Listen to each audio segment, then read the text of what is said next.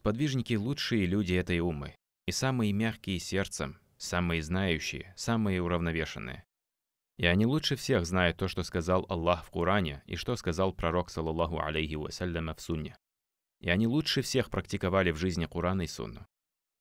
Они самые милосердные и самые далекие от страстей и нововведений. Мы обязаны признавать то, что достоверно пришло из их достоинств, и признавать их высокие качества. Любить их всем сердцем и просить у Аллаха довольства ими за первенство в религии и за то хорошее и благое, что они принесли нам. Мы обязаны изучать их знания и брать с них пример.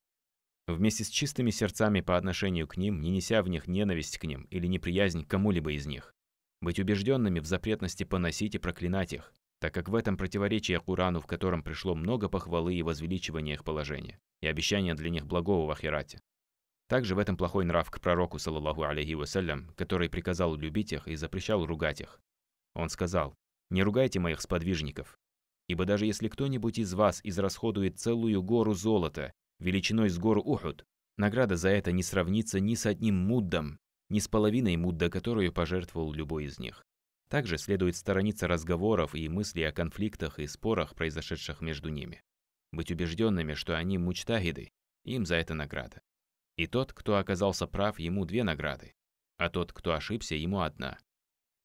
Нельзя распространять то плохое, что им приписывают, потому что большинство из этого выдуманная ложь.